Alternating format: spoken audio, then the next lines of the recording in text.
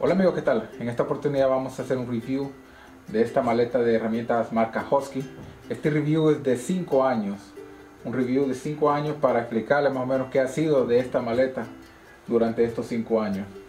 Eh, para empezar, déjenme decirles que con esta maleta he pasado agua, nieve, escaleras, se me cayó una vez del carro, en otra ocasión le pasé encima del carro no he tenido ninguna queja con esta maleta. Hasta ahora mismo el único problema que tiene con la maleta es que el handle se me trabó y no me baja del segundo nivel. Entonces tengo que estarle apretando el, cerrador aquí para poderla bajar. Ese es el único problema que tengo y lo, estoy, lo he experimentado desde hace un par de meses. El otro problema que he tenido es que de tanto uso, porque prácticamente no, de tanto uso no es la palabra, de tanto maltrato que ha recibido esta maleta, porque yo no la he usado, la he maltratado literalmente.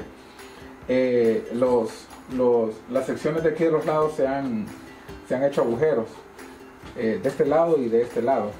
La maleta tiene cinco compartimientos a este lado, cinco compartimientos a este lado y este grande que está acá. En el interior tiene seis. Con esta maleta yo me puedo ir a cualquier lugar y yo sé que resuelvo cualquier cosa que tenga que, que resolver. Como le mencionó, no la quería cambiar, pero la cambio por por esto, es el único impedimento que tengo.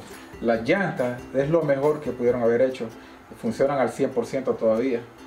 Eh, como les digo, no hay ninguna queja que yo tenga de la maleta. Así que si están pensando en comprarse una maleta como esta, se la recomiendo al 100%. Como les dije, este es el único motivo por el cual estoy cambiando, que el handle no me está funcionando como debe funcionar.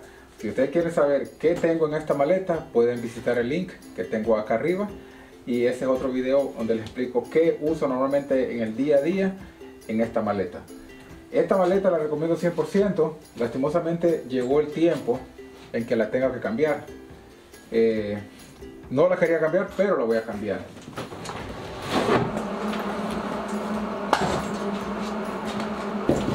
Y la cambio por la misma maleta, nada más que nueva. Ok amigos, esto ha sido todo por este video. Eh, no olvides suscribirse a mi canal, darle un like al video si te gustó, un comentario acerca de esta maleta de herramienta o tu maleta de herramienta. ¿Qué te gustaría? ¿Qué no te gusta de esta maleta de herramienta? ¿Qué podría mejorar? O cualquier sugerencia. No olviden seguirme en mis redes sociales de Instagram y Facebook para saber en qué estoy trabajando el día a día. Gracias.